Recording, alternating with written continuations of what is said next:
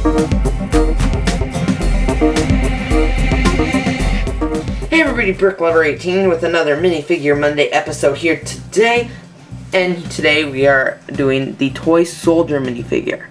This is an exclusive minifigure that you can only get in the DK Publishing book minifigure. What's it called? I'm looking at the looking for it on my shelf now.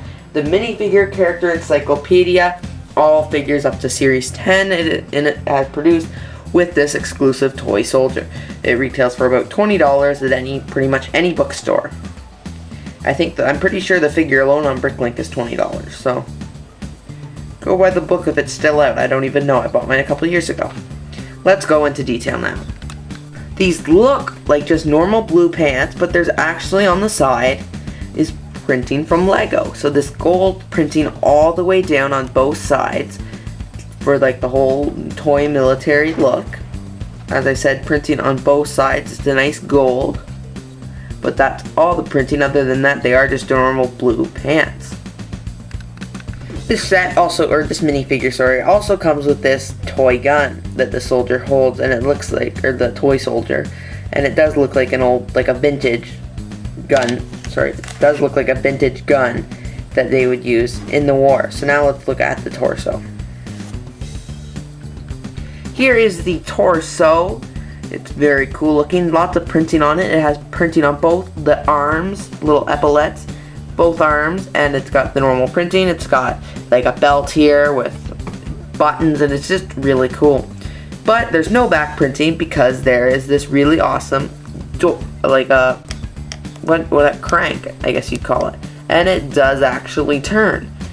It will obviously fall off eventually, but it seems to actually be pretty well on there. And it is held on by this back brace, I guess you'd call it. Back brace? I don't know. I'm making up Lego part names. The head here is very cool. I'm going to take the hat off just for a moment. It has the, like, bright pink, pale cheeks, like he's embarrassed, with the strap for his helmet. It looks weird when you don't have the helmet on. And then it's actually my Sigfig face, minus the, it's got black eyebrows instead of the brown ones that I use. And here is with the head on. See, the strap looks makes it look so much better now when the strap and the helmet are on because they just fit perfectly together. The helmet actually has quite a bit of printing on it, which you don't normally see for, from Lego. And it's got this special stuck-up piece actually in white. There is no back printing, but the front printing is just very cool and it really ties in with this minifigure. This is a very cool minifigure that comes with the DK Publishing book.